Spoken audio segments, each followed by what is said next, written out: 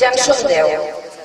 Deu mesos que sortim al carrer demanant alliberament dels hostatges polítics, de les preses i dels presos, de les exiliades i els exiliats, de les investigades i els investigats, de les encausades i els encausats, així com, indirectament, dels seus fills i les seves filles i de les seves famílies, perquè ells també són hostatges del govern espanyol, en impedir-los de tenir al costat les persones que estimen. Els han traslladat a les presons catalanes, però que no ens enganyin, això ho havien de fer per llei. I durant aquests deu mesos ni han complert la llei ni han respectat els drets humans. Deu mesos durant els quals hem fet totes les reivindicacions possibles. Això sí, totes sense violència, pacíficament. I com els trobem? Quina resposta ens donen? Doncs ens responen amb violència i amb atacs. I aquí no passa res. No hi ha cap jutge que condemni a ningú. Tot i haver-hi proves, res de res. Es pot pensar que els que activament malden per mantenir-nos sota la dependència d'Espanya poden actuar amb tota immunitat. I és cert, poden agrair violentament a gent pacífica per portar el gas groc. Poden treure els llaços a la nit en comandos paramilitars perfectament organitzats.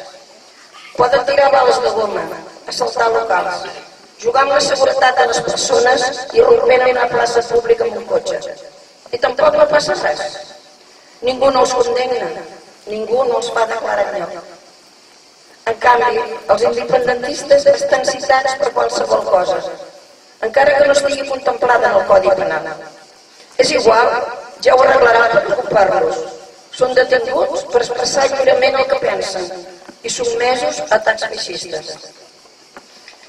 Demà farà un any dels atemptats, millor dit, dels assassinats que el Congreso de los Diputados s'ha negat a investigar.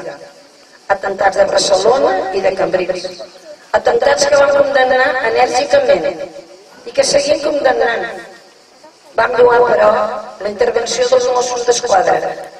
Una intervenció exemplar i valorada a Europa, a tot el món, menys a l'estat espanyol. Això també és, en certa manera, un atac i un menyspreu a Catalunya. El cap dels Mossos, a partir d'aquell moment, va estar en el punt de mira fins que el van apartar. Però, en canvi, els policies i la Guàrdia Civil, que van actuar l'1 d'octubre i que estan actuant, encara avui són homenatjats. El que demà vindrà a fer Borbó a Barcelona no tindrà cap sentit si abans no condemna l'actuació de la policia i de la Guàrdia Civil de l'1 d'octubre. Davant d'aquesta impunitat, nosaltres diem prou.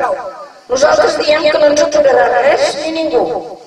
Aconseguirem la llibertat dels hostatges i defensarem el mandat de l'1 d'octubre perquè això és el que vol el poble de Catalunya. Aquestes últimes setmanes, els partits estan donant un espectacle molt trist de desunió. Retrets i, i desavenències entre ells públicament. Esperem i desitgem que facin una bona purga en els seus respectius partits. Que escoltin més el poble. Un poble que no ens ha deixat de donar suport fins ara i que plantin cara a la constant repressió. Que treballin units per la república i que ens demostrin que estan al nostre costat. Resumint, que facin allò que els vam encarregar. Nosaltres els diem a clar que es posin les piles, que ja en tenim prou d'enganys, que només falta que els nostres polítics, que són els que han de fer els que els van carregar el poble, no ho facin, perquè no treballin en aquesta línia. A ells també els diem prou, prou de no posar-se d'acord i prou d'anar per lliure. Volem que estiguin el Consell de la República, Volem confeccionar el full de ruta que aquest Consell ha de marcar per l'assoliment de la República. Volem fer un seguiment d'aquest Consell de la República, el qual ha d'estar format pels partits polítics i per les entitats independentistes. Només quan tinguem plenament la República serem capaços d'alliberar els hostatges polítics. Treballem en aquesta línia.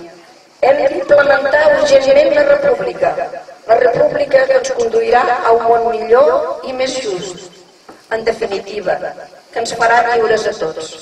Fem república catalana.